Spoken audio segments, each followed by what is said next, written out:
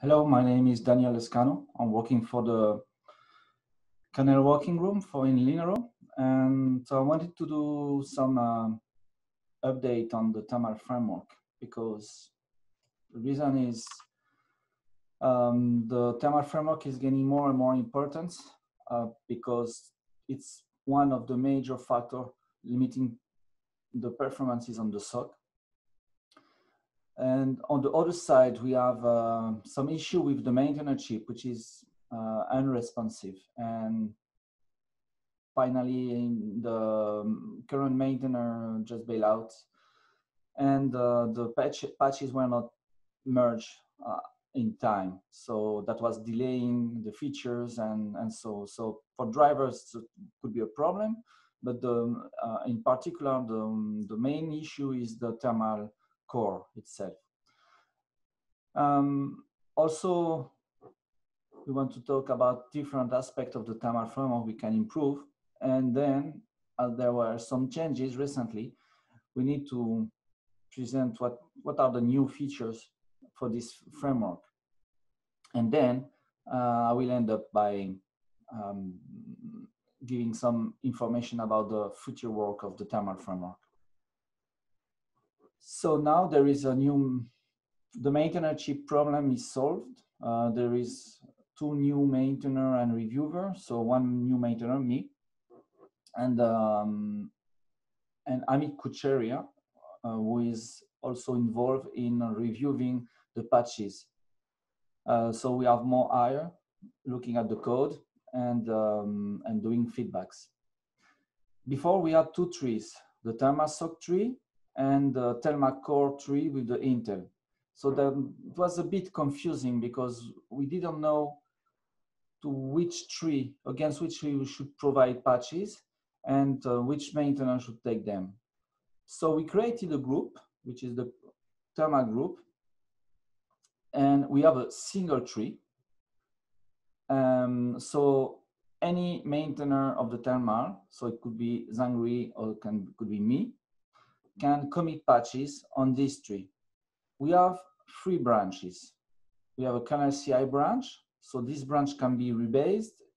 So when I pick a patch, I put this patch on this branch. If everything is all right, it goes to the Linux next branch.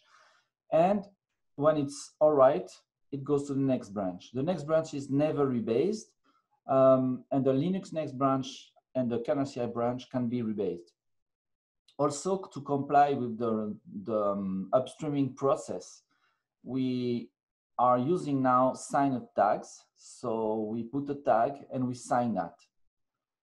And finally, for each patches we merge, we take the patch and we put um, the description, well, a link to LKML giving the, the, you can have access to the full thread for these patches and it's given in the, this in this form. So, so you have a link with the the message the, um, the URL um, to the to dispatch. So we did on um, the thermal framework some cleanups. First of all, the enable and disable thermal zone was not very well handled. So we fixed that and it resulted in some code cleanup and removal of some uh, callbacks, unused callback. So that um, reduced the complexity of the code. Um, also, we, remove, we removed the clock cooling device because it was in use uh, anywhere, maybe by out of tree kernel, but we don't care, they're not uh, upstream, so we remove them.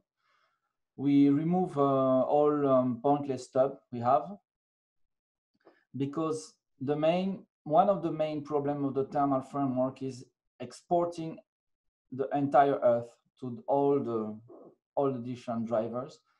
And all these drivers are changing the internals of the thermal framework because they have direct access to the structure and so on. So we improve the situation because it's a it's um, an obstacle for us to do improvement in the thermal framework as every driver are doing some crappy things with the internals. So we have to do some cleanups around that.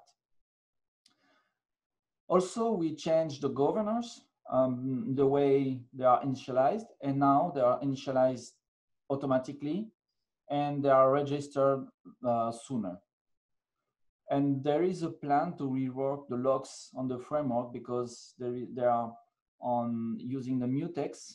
Mutex is a heavy lock and they are taken for every changes in thermal framework. So we suspect we can solve that with uh, spin locks and ref counting. One new feature we have is the new cooling, a new cooling device.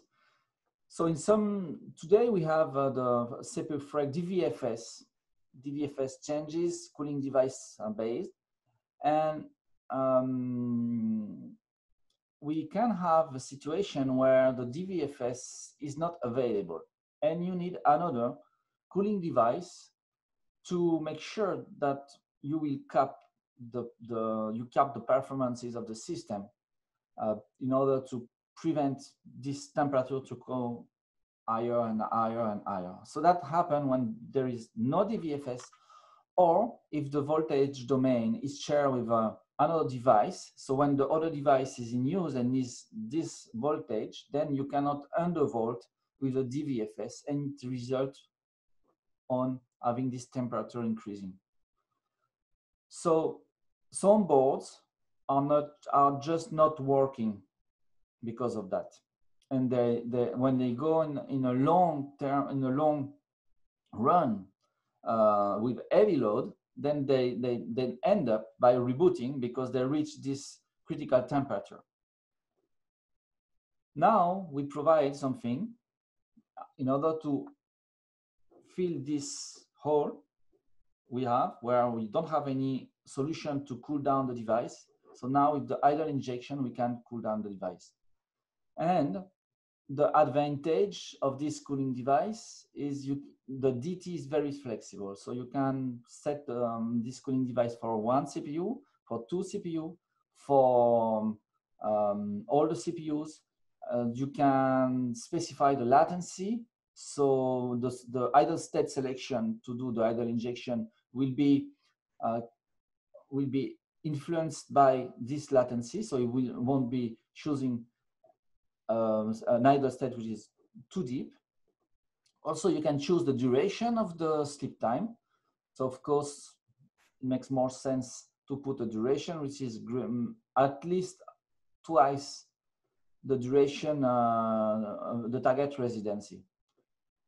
Um, thanks to this device, the temperature in, uh, in terms of uh, mitigation is much more stable. So you, when you reach, you have a flat curve instead of having this uh, uh, saw teeth we can find with the DVFS.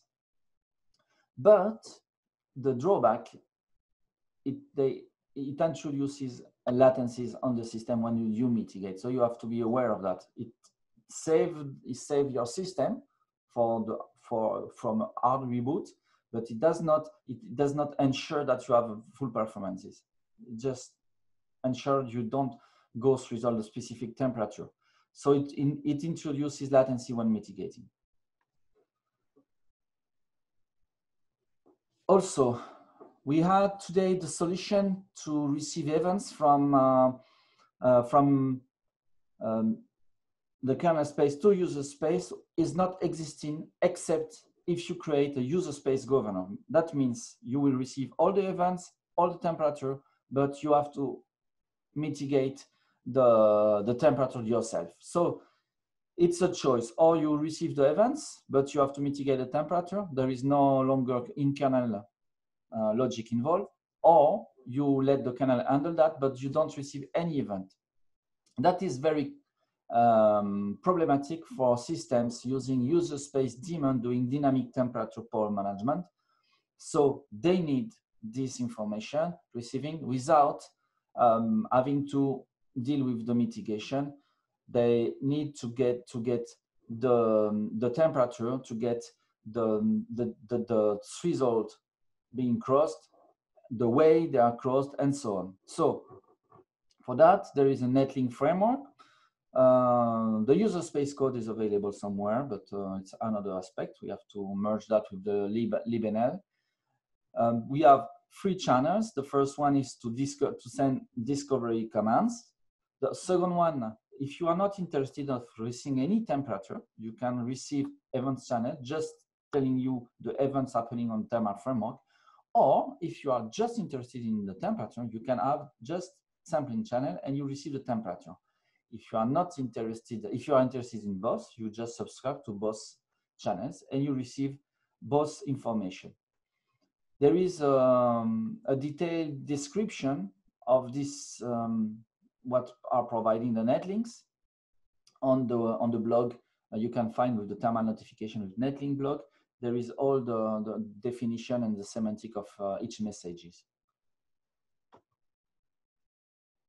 Also, um, there, are, there were some changes in the energy model because um, we have the energy model, but the, the um, different cooling devices were not using this energy model to change the performance state. They were, were doing the same thing as the energy model. So instead of duplicating the code, uh, the energy model has been um, merged, well, reused in the separate cooling device. That end up, we end up to, to provide some changes. So we have the energy model, which is now in the Struct device. So we can tie the energy model structure uh, life cycle with the Struct device life cycle. So it's much cleaner instead of duplicating ref counting and so on. And thanks to that, we have potentially the possibility to, uh, to provide an energy model per device. And now the next step happening right now is um, the same thing. So using devfreq and CPUfreq cooling, uh, cooling code to, to be consolidated using the energy model. And as there, there are a lot of common things between these two cooling devices, it makes sense to merge somehow uh, part of the code. So the thermal framework is preventing the temperature to go above a certain limit, but it does not prevent to go below. And for some devices, which are, uh, which are outdoor devices, when they are functioning during the night, the temperature can decrease and then they, they need to be warm up. They need a, they need a warm up in order to, to have the silicon still functioning. So here we have a silicon which is functioning below uh, too high temperature and above a too cold temperature. So it's introducing, we need to introduce this temperature range thing. And for that, we have um, devices which are increasing their performance state to warm up, to heat the, the system. And well, actually, um, intuitively, we think that it's a mirror.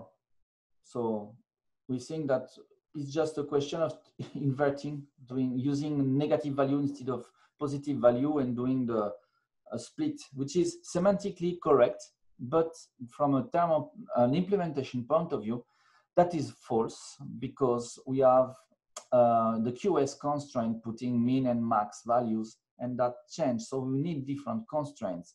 Also, we have the different instances of the cooling devices and warming devices. So we can have one cooling device or one warming device on top of two thermal zones. They can be shared across. So there is uh, an aggregation of um, there is an aggregation of the, the states. And for that, it's not so easy to do just the opposite with the warming device. So it's still under discussion. And uh, well, we had um, a long discussion at LPC. We agree with the concept of warming the devices, but now is question about uh, discussing about the implementation. From the hierarchical zone point of view, last time we presented that, there were not a very big uh, enthusiasm for this feature. And um, that we had to think about a bit more about that. So finally, we come back with a proposal to use the PowerCap framework with the energy model. So actually, we think that instead of uh, having the thermal framework to collaborate, which does not really make sense because we need uh, to have to cap the, um, the to make sure that the, the, device, the thermal zone is not going above the temperature, we don't have uh, this concept of uh, having an intermediate temperature. So the power limiting framework, power cap framework is much more adequate to do that.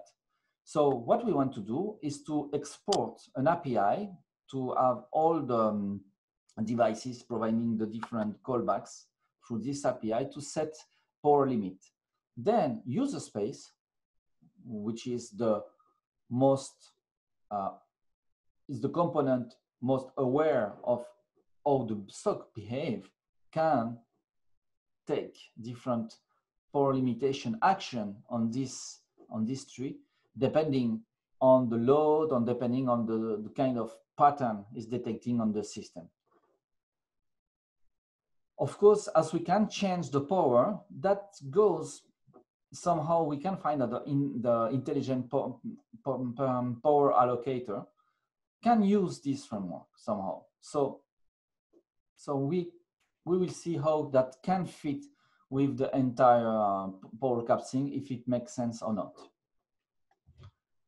Okay, I finished the presentation. Thank you. If you have any question, uh, any question, please feel free.